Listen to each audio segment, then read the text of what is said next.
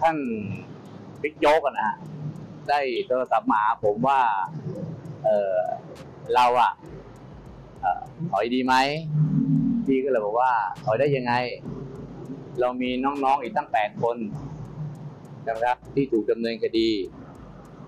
แล้วก็ถูกกันแกล้งด้วย พี่ถือว่ากันแกล้งนะฮะแล้วโดนถึงบิ๊กโจ๊กด้วย มันมันยอมไม่ได้หรอกเพราะตอนนี้เรากำลังลบกันอยู่ แล้วยังไม่ไปถึงไหนเลย อยู่ๆเนี่ยจะมีคนมาสั่งเนี่ย คงไม่ได้ แล้วพี่ก็ถามว่าใครแกบอกว่าพี่อย่ารู้เลย อ่าใช่ไหมฮะแล้วผมก็บอกว่าก็ไม่เป็นไร พี่ก็ทำต่อไปกันแล้วกัน ในส่วนของพี่นะครับ แต่แต่แต่ถ้าน้องเนี่ยคิดว่าพี่เนี่ยไม่สามารถทำคดีต่อไปได้ก็ให้ถอนออกไป แต่ถ้าให้พี่หยุดพี่ไม่หยุด เพราะว่าตอนเนี้ย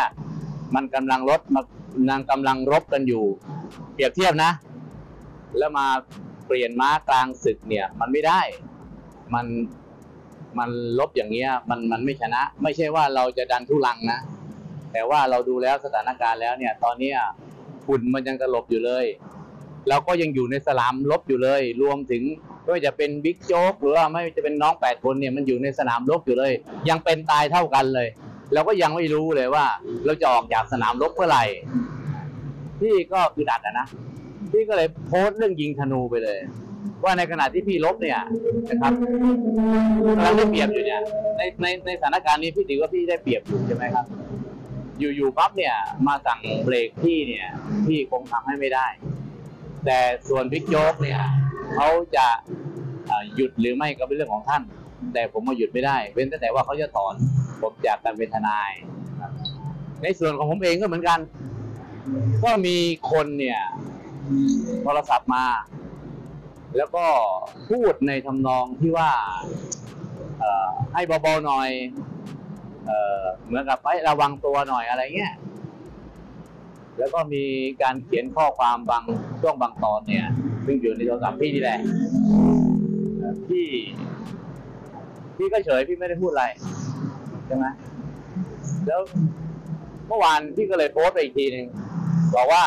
เราเป็นทนายสายชนสู้ไม่ถอย ทางใครทางมัน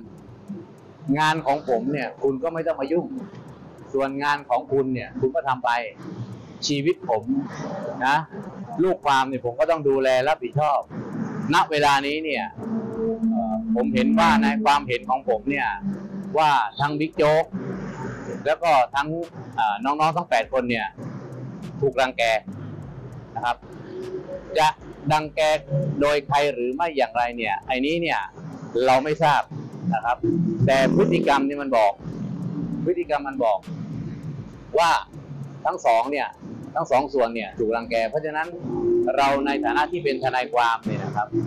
เราก็ต้องดูแลและปกป้องลูกความของเรา ซึ่งคำว่าลูกความเนี่ย มันมีตั้งแต่โบราณโบราณแล้ว ลูกความ ก็คือลูกของเรานั่นแหละ ไม่ใช่เป็นคำศัพท์ใหม่เลยนะถ้าแต่ว่าผมมาขยายเองว่าะลูกความนี่คือลูกของเรา ใครทำร้ายลูกความก็คือทำร้ายลูกเรา ใครรังแกลูกความก็คือรังแกลูกเรา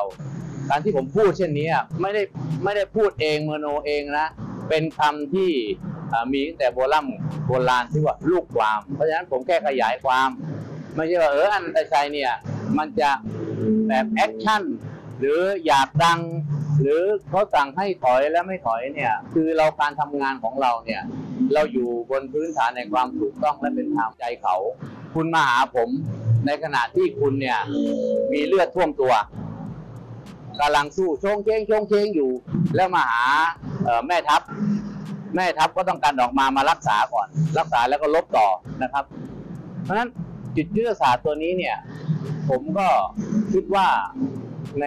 ความรู้สึกของผมเนี่ยนะครับ ในฐานะที่ผมเป็นทนายเนี่ย ผมก็ต้องรบต่อไปนะครับทนายคือคุณแล้วคดีนี้เนี่ยมันไม่ใช่คดีธรรมดา มันเป็นคดีใหญ่ ประชาชนให้ความสนใจ แล้วผมอยากจะบอกนะครับ ไอ้พวกที่มาวิพากษ์วิจารณ์ผมอะนะครับ ผมเอ่อผมใช้วิชาชีพ คุณไม่ต้องมารู้ดีมากกว่าผมหรอกคุณวิเคราะห์วิจารณ์กันจังเลยว่าผมอย่างนั้นผมอย่างนี้ เออ แล้วคุณมาลบกับผมป่ะเนี่ย ถ้าคุณมาลบกับผมแล้ว โอเค แต่คุณไม่ได้มาลบกับผมเนี่ยนะคุณจะมายุ่งอะไรกับผมใช่ไหมคุณจะวิจารณ์อะไรกันนักหนานะบางคนก็แหมผมไม่อยากจะใช้คำซอใส่เกลือกอะนะเออแต่มันก็เกินไป อย่ารู้เลย เดี๋ยวช็อกคือมันมีแบบเตือนขนาดนั้นเลยสะเทือนเด็ดดู เด็ดดอกไม้ดอกเดียวสะเทือนถึงดวงดาวเอาว่างั้นแค่นั้นก็แล้วกันจะกระทบถึงอ่ากระทบหมด